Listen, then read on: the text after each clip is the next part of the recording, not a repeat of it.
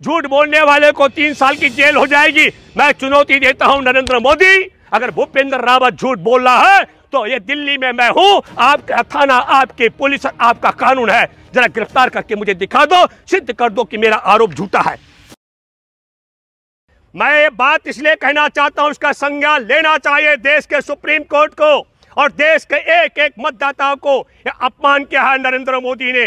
नरेंद्र मोदी बताए कि वह कौन सा जादू है? नरेंद्र मोदी के पास, जो नरेंद्र मोदी ऐलान कर रहा है कि देश के मतदाता नरेंद्र मोदी को ही चुनाव में जिताने वाले हैं। और तीन बड़ी बातें नरेंद्र मोदी ने कही। हमारे देश में अभिशाप बताया गया है परिवार परिवारवाद को। और मैं बताना चाहता हूँ, नरेंद्र मोदी के मंत्रिमंडल में पीयूष गोयल, वेद प्रकाश का बेटा हर वेद प्रकाश केंद्रीय राज्य मंत्री थे अटल बिहारी वाजपेयी के सरकार में बिल्कुल सही कहा। नरेंद्र मोदी ने कि कुछ राजनीतिक पार्टियों के वारिस इस देश में गुण की तरह है, जिस तरीके से पीयूष गोयल की तरफ़ इशारा किया गया है। दूसरा, धर्मेंद्र प्रधान, जो डॉक्टर देवेंद्र प्रधान के पुत्र है, भाजपा के पूर्व सांसद, ये वंश बेला है यह है परिवार परिवारवाद केंद्र में मंत्री है। मैं दूसरा ज़िक्र कर रहा हूँ, दो केंद्रीय मंत्री जिनमें आपने कई बार नाम भी सुने होंगे, ज्योति राजे सिंधिया, जो विजय राजे सिंधिया का पोता है। और वह माधवराव सिंधिया का पुत्र है। इसे कहते हैं वंश के, क्या कहते हैं परिवारवाद ये भी गुण की तरह है। कांग्रेस से चुनकर किस तरीके से पैसे का खेल हुआ या ईडी फीडी के डर था, ये कर्नाटक का मुख्यमंत्री जो बनाया गया था, बसवराज बोम्बई। उसके पिता भी एस आर बोम्बई कर्नाटक के पूर्व मुख्यमंत्री रहे। ऐसे में एक लंबी सूची भारत में उन लोगों की जो देश के आज़ादी के खिलाफ थे, उनके भी परिवार बाद में देश के अंदर नब्बे राजनेता देश भर में है। ये मैंने चार का ज़िक्र इसलिए किया क्योंकि ये आपके सामने है। एक राज्य का मुख्यमंत्री, परिवार बाद का और तीन केंद्र में मंत्री है।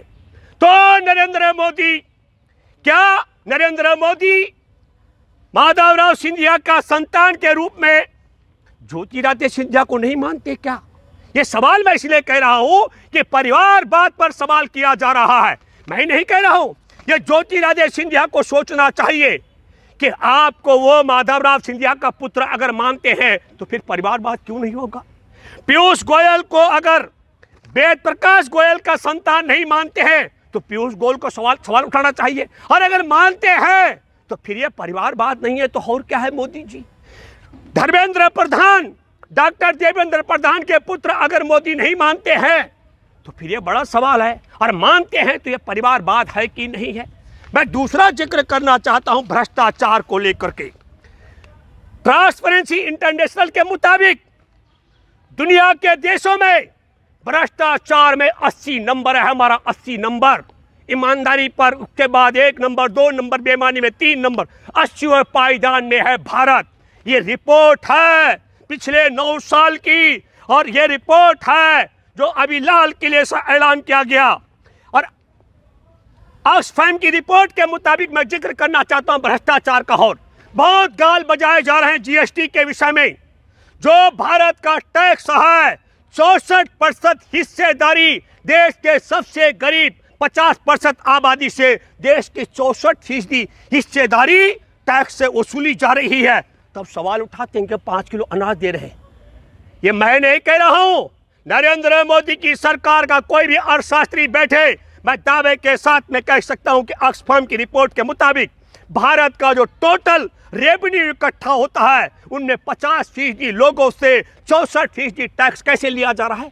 दही पे टैक्स चावल पे टैक्स आटे पे टैक्स पेन पे टैक्स पेंसिल पे टैक्स दवा पर टैक्स बेड हॉस्पिटल के बेड पर टैक्स और मुझे तो लगता है कई लोग कह रहे थे, नरेंद्र मोदी के आने से पहले शौचालय पर टैक्स नहीं था, एक रुपए, दो रुपए था सुलभ का रेट वह एक रुपए, दो रुपए की बजाय दो रुपए और पाँच रुपए कर दिया गया। हमको तो लगता है कि उसमें भी, हगने मुतने में भी मोदी टैक्स हुआ, जो लोग सुलभ शौचालय इस्तेमाल करते होंगे, उन लोगों को भुगतना पड़ता है। मैं मेट्रो में सफ़र करता हूँ, पहले एक रुपए देना पड़ता था, दो रुपए देना पड़ता है, और महिलाओं को पाँच रुपए देना पड़ता है।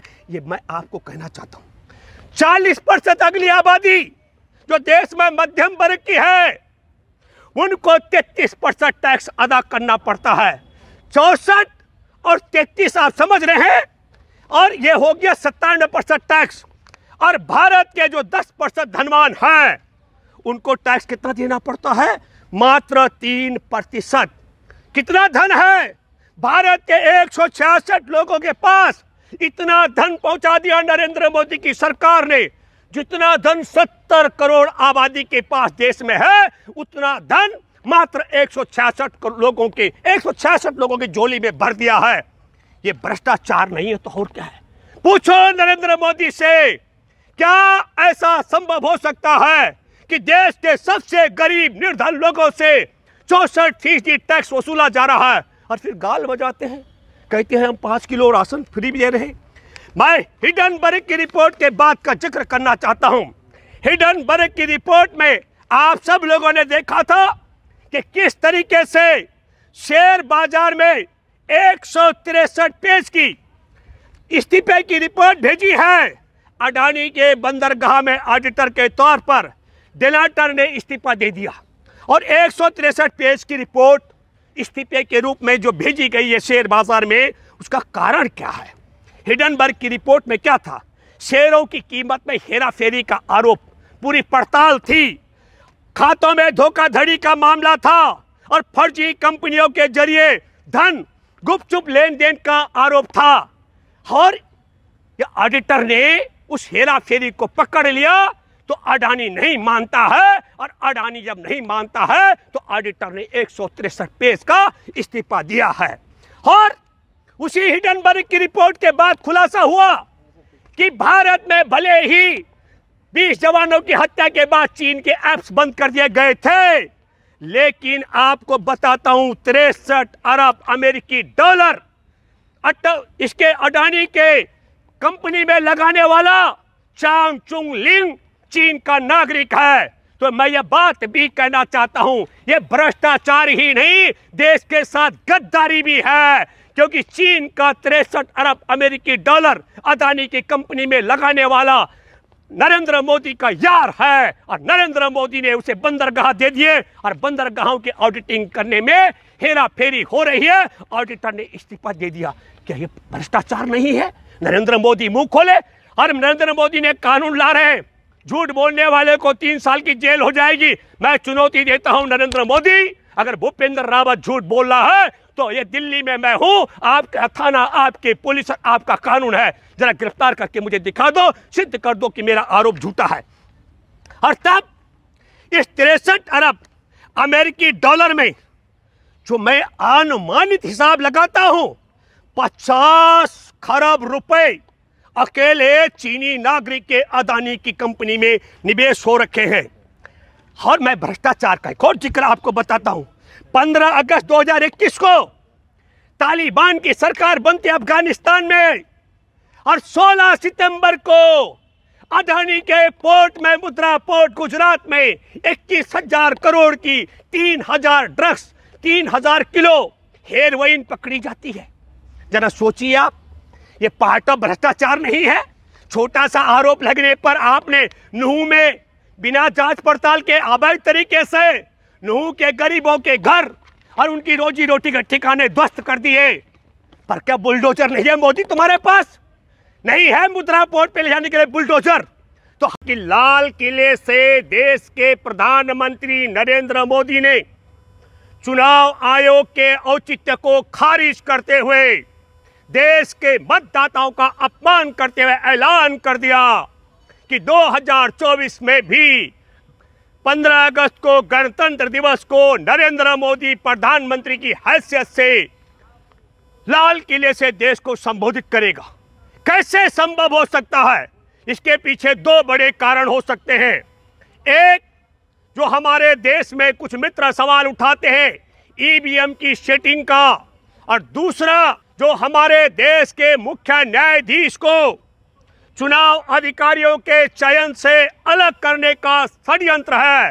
तो हमको लगता है कि क्या नरेंद्र मोदी देश के मुख्य न्यायाधीश सुप्रीम कोर्ट के उन्हें चुनाव आयोग के चयन से अलग करके और अपने चहेते मंत्री को सारे ईवीएम में और तोता की तरह चुनाव अधिकारियों का चयन करके इसका कॉकलेट बना करके यह ऐलान इसलिए किया गया है क्या?